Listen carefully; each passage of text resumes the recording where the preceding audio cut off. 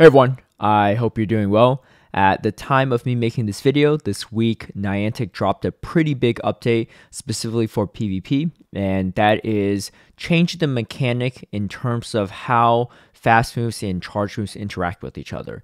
In the previous iterations of PvP for at least a couple months, probably over a year or so, it's been a little inconsistent in terms of when you throw a charge move, if your opponent is able to get a fast move through or not. And so some players will say if you get a fast move through, then it counts as a sneak, quote unquote. And if you prevent them from getting a fast move through, you call it a deny. Original intended mechanic, to my knowledge, is that when you throw a move, your opponent should always get a fast move through because every input in PvP costs a turn. So swapping in a Pokemon costs one turn, using a charge move costs one turn, and then you have fast moves that vary from one turn all the way to five turns. But essentially, what's been happening that's been inconsistent is that sometimes players will throw a charge move and prevent their opponents from getting any fast moves through. And that's pretty big because you get to essentially use your one turn, which is throwing that charge move, for free. Your opponent gets nothing out of it. If this is a one turn fast move like Dragon Breath or Lock On, that's a very different thing.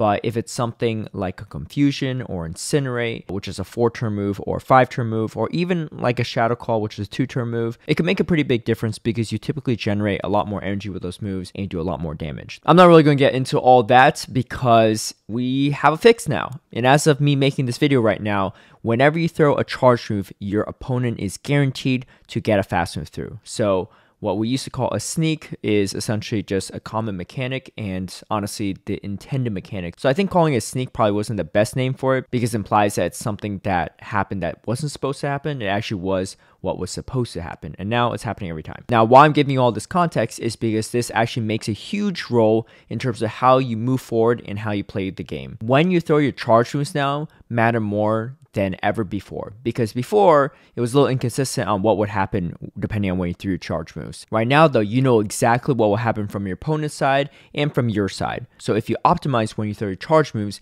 it makes a huge difference for the entire outcome of the match. You prevent your opponents from gaining significant advantage over you by getting extra turns when you throw charge moves, and optimized charge move timing will honestly win you a lot more games in the long run. I know in the past some content creators may have covered this. Wallower is example that comes to mind. I'll link his video down below. He also used the graphic I'll be using from Go Stadium, so shout out to both Wallower and Go Stadium for their previous work on this. And if you're unsure about how many turns a specific fast move is, I definitely recommend you checking out PvPoke. Great resource in general, but also breaks down the various durations of all the fast moves. Before we get into the rest of the footage, a big shout out and thank you to all my patrons who've been supporting my content creation. If you would also like to have early access on my strategies and lineups, or see behind the scenes footage of my battles, feel free to sign up in the link down below. In this first matchup, I'm going to showcase an Umbreon Mirror, and uh, they're both running Snarl, and we're both going to throw Last Resort. Now, here's the main reason behind this is to showcase that well, the oak mechanics of potentially sneaking or denying is pretty much gone. Uh, how this should play out is we're both throwing Last Resort right on time, so this should be a complete CMP. And you know when it's charge move priority, when you tie on your charge moves, uh, when you don't see any possible fast moves coming through, right? And so in that situation, you don't see any, I throw right away. There's no other actions that could be done during that time period.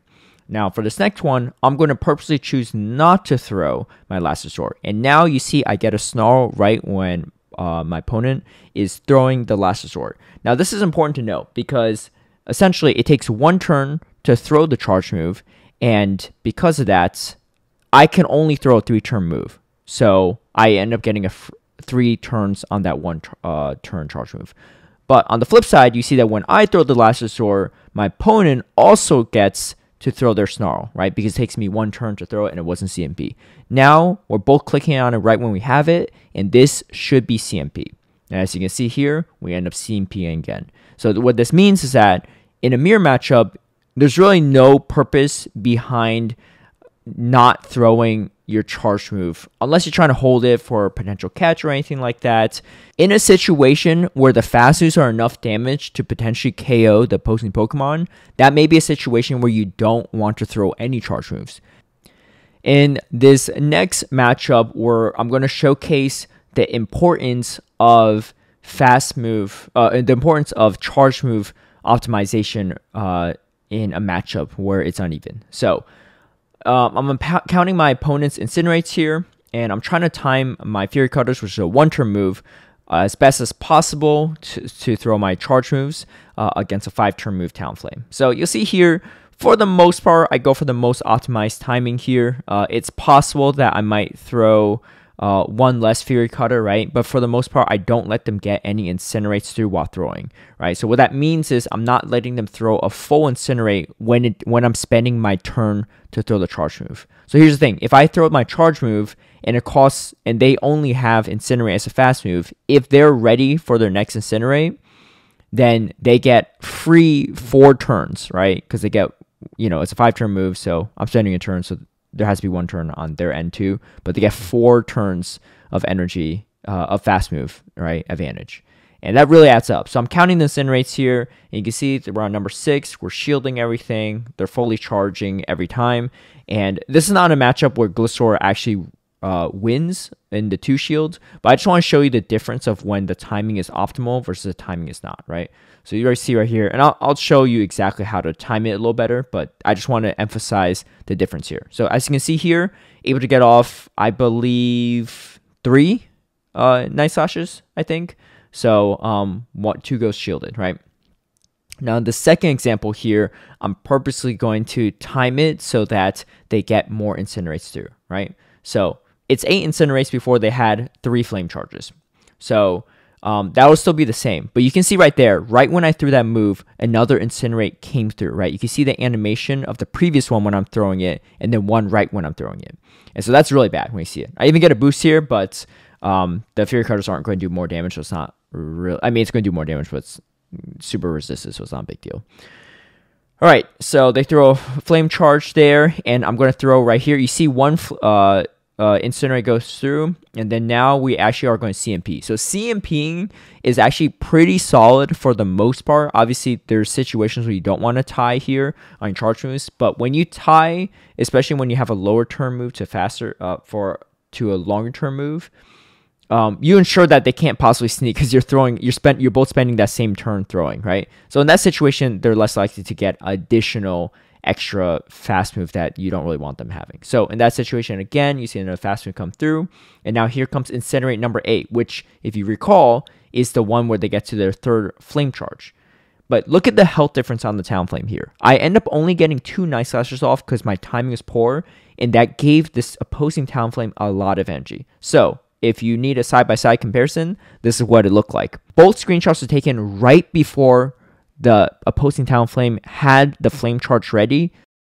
And the first picture is the one you saw from the first clip where I timed it much better and I was able to get off three night slashes. And that third one actually landed, which is why that Talonflame is in the red. If you see in the second picture, I have way less energy and I wasn't able to get a nice slash off, right? So that's a big energy difference. Okay, so how do we optimize charge move timing here? Looking at this chart, there's a great graphic from Go Stadium here. If you look at the left side, it's your fast move, right? And then the top side, it says your opponent's fast move. In that situation, I was using Fury Cutter, so you want to look at the number first row, number one. If you go all the way across to the top side, it's five, right? That's opponent's fast move. And so if you look how to read this chart is any of the numbers in gray is fast moves that you get off and it's the optimal timing. Any of the numbers in teal or light blue that is suboptimal timing, but it's still not bad. So in this situation here, I want to throw four Fury Cutters and then I throw my charge move. Now the plus five in the parentheses essentially implies that after that first four Fury Cutters, for all future times you throw a charge move, you want to throw it at least five turns further. Incinerate is a five turn move. So you are fully optimizing it because you're getting a full max four Fury Cutters, the most amount possible, and then you're throwing your one turn charge move. If you don't have the energy to throw your charge move, then you can't just go, well, I'm going to throw four Fury Cutters and then now I'm going to throw a Night Slash, right? You might not have the Night Slash ready. Once you take that into consideration, build up to the next one. Yeah, you didn't get the Night Slash at four, then throw the Night Slash at nine. Now, here's the main thing, and this is the beauty of the one turn moves. Maybe you don't have the luxury to build up to nine. Maybe your Gliscor's about to get knocked out, uh, or you just need to swap it out or something. You could still throw your Night Slash at maybe turn 8, right? After 8 Fury Cutters rather than 9. What does this mean? It just means that you got one less fast move off. You got one less Fury Cutter. Instead of the nine maximum Fury Cutters you could have gotten off in the time it took them to do two Incinerates, and then you throw your charge move, you only got eight. It's still fine. It's suboptimal, but still fine. And in some situations, you just need to throw sooner. Maybe you can only throw seven. You give them two free turns on the incinerate. Not the end of the world. Actually, it's less about giving them turns and it's about you not getting the optimal turns on your end. You're not getting the two extra Fury Cutters, but again, you might be knocked out. You just need to throw it. In this first matchup, um, the battle rate started a little bit because I wanted to time it so that it was right after a uh, charge move with stone. So in this situation, that first one was actually kind of bad because you can see that the Shadow Claw actually comes through. So what I want to do here instead is time it better. So in this one, you'll see that the Shadow Claw actually doesn't really look like it comes through here.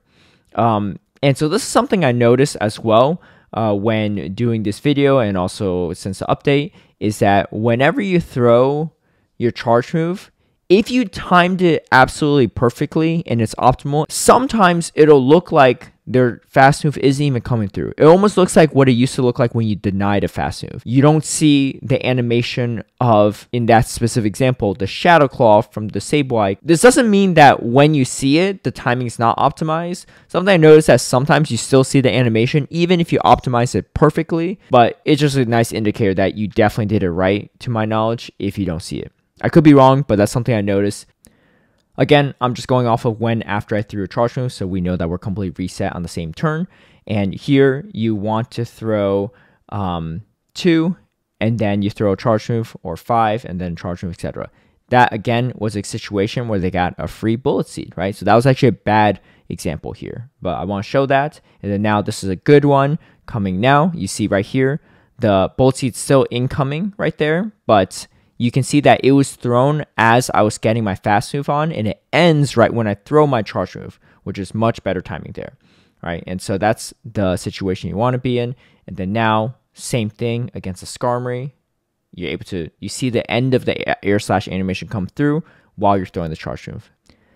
Now, four turn move with Gust, you want to optimize this. So again, it's easy with one turn moves because you just do one less than the total amount of turns they take. It's also easy to mess it up because if you try to fully optimize as much as possible, it's easy to get greedy and also end up throwing just one turn too late and then you end up giving them a full you know, in that situation, four turns on the Gust. That at least is a personal struggle I, I find. Maybe other people find it easier. And against Talonflame, this is just a clip from earlier. Again, You'll see right here that there is no um, incinerate animation coming through, so a good indication that I optimized this, this completely perfectly here. All right, next we're going to take a look at two-turn move versus three-turn move here, right? So in this situation, uh, a easy way that uh, my friend PolymersUp says uh, to remember this is you do one, four, and seven. This is a very uh, common matchup. We have two turns versus three turns. So what you do is you throw on the one, right? Because one mud shot is two turns, and then um, one uh, throwing the charge move is one turn. The posting Pokemon throwing three turns, so that's perfect. Uh, but obviously, you might not have the energy to throw it right away, right? So here, that's one, and then so that's two turns, and then now throwing, that's three turns. So that equals the snarl that came through fully optimized. After that, you know, you can do four is easy, and then seven two turn into four turn. So this is an interesting one. And you'll see this is teal in the chart. There's no way to fully, fully optimize this. You will always end up giving up a turn here. Um, so you could throw one uh, charge, one fast move, and then throw throw the charge move. So that's you know two turns for the uh, one fast move and one turn for the charge move. Or you know you could throw three, right? So if you throw three fast moves, that is a total of six turns, and then it takes you one turn to throw the charge move. So that's seven. But the thing is, if they're running four turn moves, that's two confusions. You're still giving up one turn. But that's the thing. Two turn into four turns, that's just how it is. It, you're always going to be suboptimal, but that is the time you should go off of. So here we have the two turn versus five turn. And so in this situation, I'm just throwing two mud shots and then I'm throwing, right? So two is the optimal, and then seven is the other optimal option. Seven is a lot of fast moves, right? That you have to throw. And so sometimes you don't get to that. So right here, you see I throw three, right?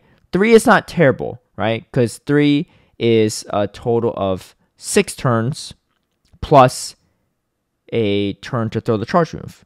So that is a total of seven turns. Talonflame would throw two incinerates in that time. You end up giving three fast moves. Just play it smart, right? Obviously, optimize is good, but sometimes you don't have the luxury to.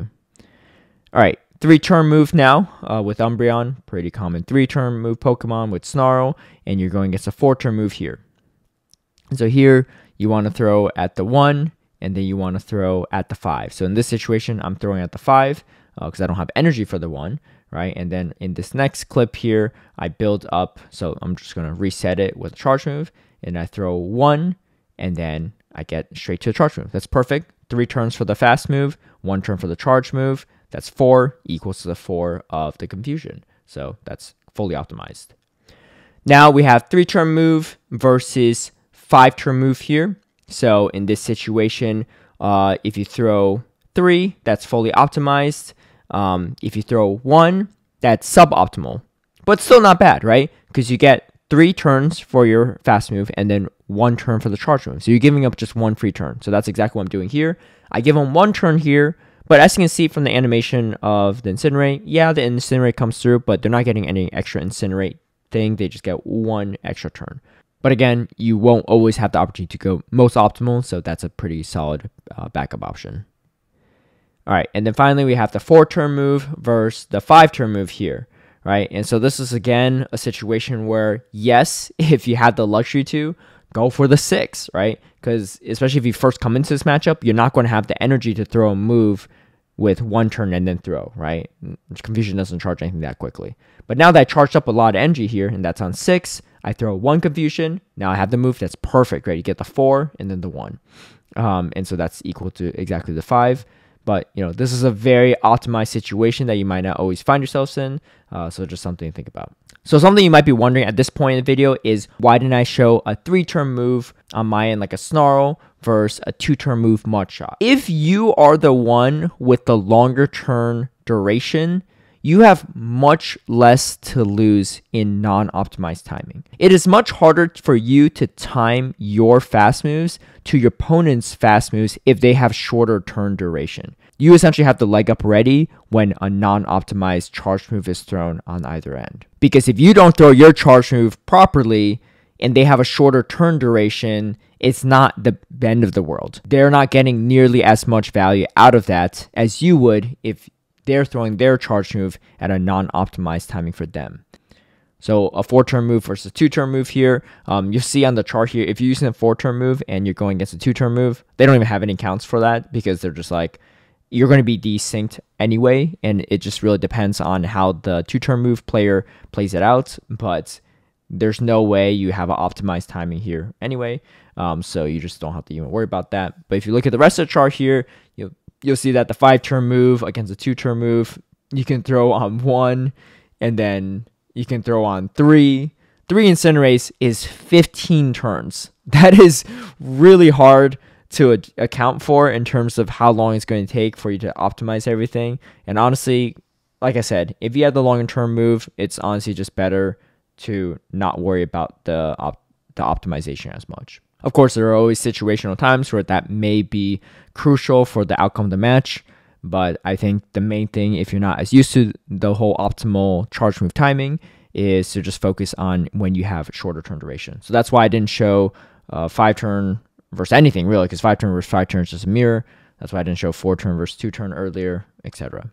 The main thing here is you don't have to memorize this chart from Go Stadium. Obviously, it's a helpful tool and stuff like that, but it's really understanding the general concept is important. And sometimes you could just go off of the animation of your opponents if you get really used to the different animations for one turn, two turn, three turn, four turn, five turn, etc and how to throw and when to throw by just looking at animation. I know some people don't actually do the specific number counting, they just look off of visual cues, and that's fine too. I hope all this information is helpful for you. I know there's a lot of different math and counting involved in it, so it doesn't have to be the most precise at all times. I think the main thing to understand here is understanding how charge move timing can impact your gameplay and the results of your game, and understanding when you are timing it correctly and when you may not be. If you have any questions, feel free to drop them down in the comments below. If you like this video, feel free to give it a like and share, subscribe for future content, hit that notification bell to get alerted right when I post a new video, and I'll catch you all next time. Bye. You are a drama queen.